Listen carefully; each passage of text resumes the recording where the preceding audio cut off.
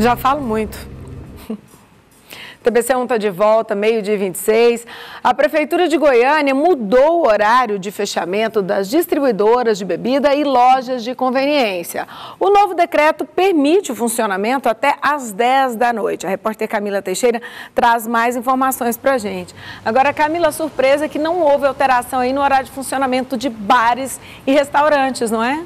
Isso mesmo, viu, Michele? Pegou o setor, o empresariado desse setor de surpresa, porque eles esperavam né, que o horário de bares e restaurantes fecharem fosse estendido até a meia-noite, mas a Prefeitura de Goiânia recuou dessa decisão.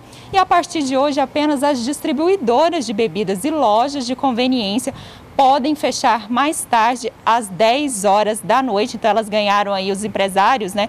Ganharam mais duas horas de funcionamento.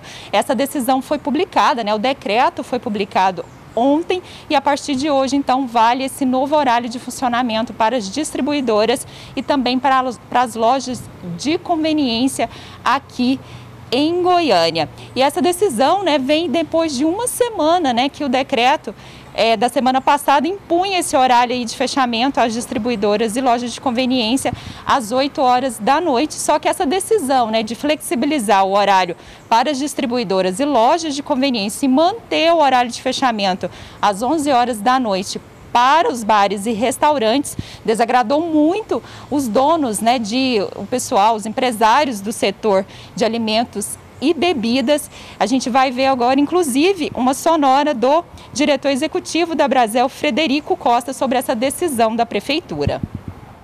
A Brasel, juntamente com seus associados, recebeu o novo decreto do prefeito Rogério Cruz de maneira muito é, assustadora, vamos dizer assim. Temos que lembrar que isso traz um prejuízo muito grande, não só para o empresário, mas para um todo que está envolvido no segmento. É, nós temos aí os colaboradores de bares e restaurantes que estão comprometidos com seus empregos. Nós estamos passando por um momento onde esse início de ano é, são vários os impostos que são gerados para pagamento do setor. Nós temos aí folhas de pagamento também, onde apenas quatro horas de funcionamento de um estabelecimento não se consegue cumprir com toda a demanda financeira que está agora iniciando é, nesse ano de 2021.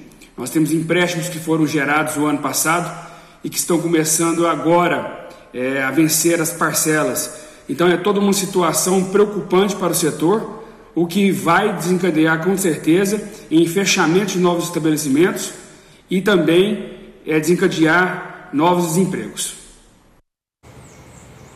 Apesar dessa insatisfação, regra é regra, então, estabelecimento comercial que for flagrado desrespeitando né, o decreto, permanecendo aberto depois do horário determinado aí pela Prefeitura de Goiânia, vai ser convidado né, a ser fechado ali imediatamente pelos fiscais e o estabelecimento também pode ser multado e até interditado, viu, Michele? Tá certo, Camila. Obrigada pelas informações. Está dado o um recado, então.